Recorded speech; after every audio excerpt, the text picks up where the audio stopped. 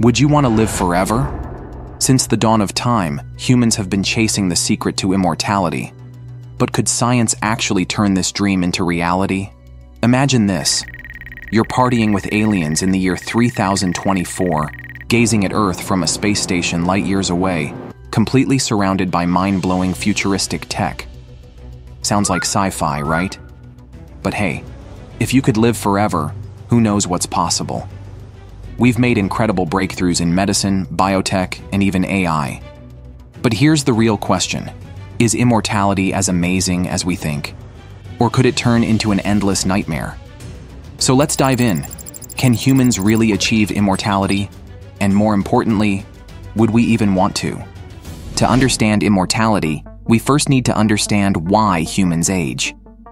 So, what actually causes aging? Have you ever looked in the mirror and wondered why your body changes over time? Gray hair, wrinkles, less flexibility. These are all signs of aging. But aging isn't just about looking older. It's a complex process happening inside your body. One of the main reasons we age is because of telomeres, the protective caps at the ends of our chromosomes. Every time a cell divides, its telomeres get shorter kind of like the plastic tips on shoelaces wearing down over time. When they become too short, cells can't divide anymore, and they start to weaken. On top of that, free radicals, unstable molecules produced by metabolism, pollution, and unhealthy lifestyles, damage cells and speed up the aging process. But that's not all.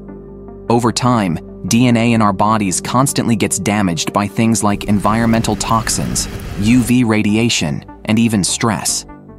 When we're young, our bodies can repair this damage, but as we get older, that ability declines, leading to cell dysfunction.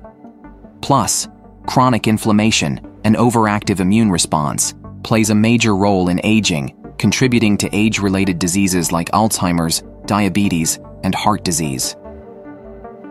So, what has science done to fight death? Humans have always been obsessed with the idea of living forever.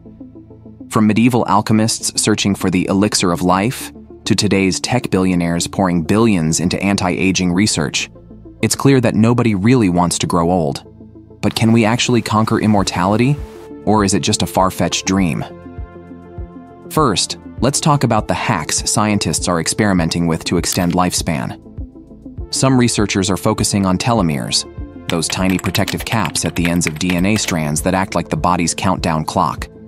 Each time a cell divides, telomeres shorten, and when they become too short, your cells stop functioning, making your body wear out over time.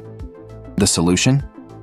Some scientists believe we can extend telomeres to slow down aging, essentially giving our genes a facelift.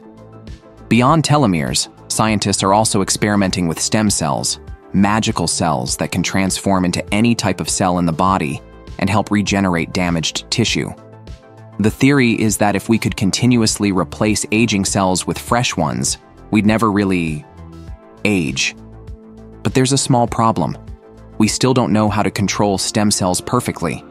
What if we succeed, only to accidentally create a bunch of cancer cells instead?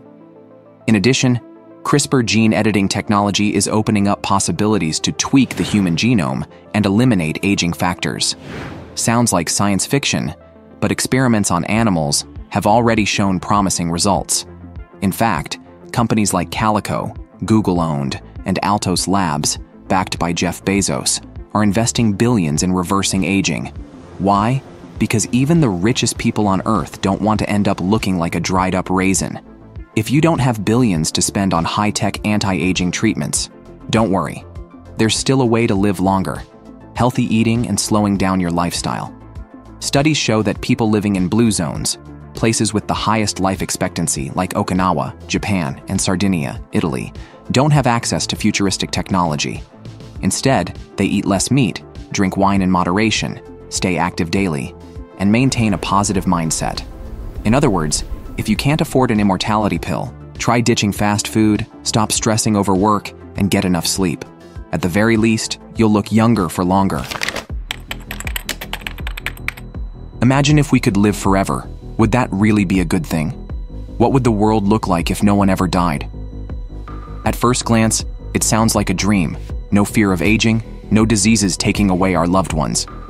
But hold on, let's think a little further. First, the economy and society would change entirely. If no one ever died, the population would skyrocket. What would happen to housing, food, and resources? If everyone lived forever, who would step aside to make room for future generations? Innovation and progress might stagnate because the same people would hold on to power indefinitely with no reason to move on. And what about human emotions? Loss is painful, but it also teaches us to cherish every moment. If we were immortal, would love still feel as deep? Would goodbyes still matter? If everything lasted forever, would we still feel the urgency to strive, to chase our dreams? Or would we take everything for granted? Is immortality really worth wanting? Imagine being the only person on Earth who cannot die. At first, it sounds exciting. No illness, no aging, unlimited time to chase your dreams. You have thousands of years to learn everything, travel the world, and witness humanity's greatest events. But then, you realize you're trapped in an endless loop. The world changes, people come and go, yet you remain, unchanged, like a stone in the river of time. You watch bustling cities crumble into ruins, civilizations rise and fall. The people you once loved slowly fade away, and beautiful memories become nothing more than blurry fragments in your mind. You can meet new people, build new relationships, but in the end, the outcome never changes. You will always have to say goodbye. One day, you sit on a park bench, ready to share a joke, but there's no one left to laugh with. There's no one to share your joy, no one to reminisce about the past. Your memories keep piling up, but no one remembers who you are. At that point, immortality is no longer a gift, it becomes an endless solitude. And let's not forget, without a time limit, would you even have the motivation to do anything? If you knew you had forever, would you still be eager to chase your dreams? Or would you just keep putting everything off? If there's no end, is anything truly valuable? We don't need to live forever. We need to live meaningfully. Life is precious because it has an end. Knowing our time is limited makes us cherish every moment, love with all our hearts, take risks, and pursue what truly matters. And if anyone ever asks me, would you want to be immortal? I'd answer right away, only if the world has free buffets forever. Perhaps, instead of dreaming about immortality, we should focus on living the most meaningful life, right? So, what do you think? Do humans truly need to be immortal? Share your thoughts in the comments.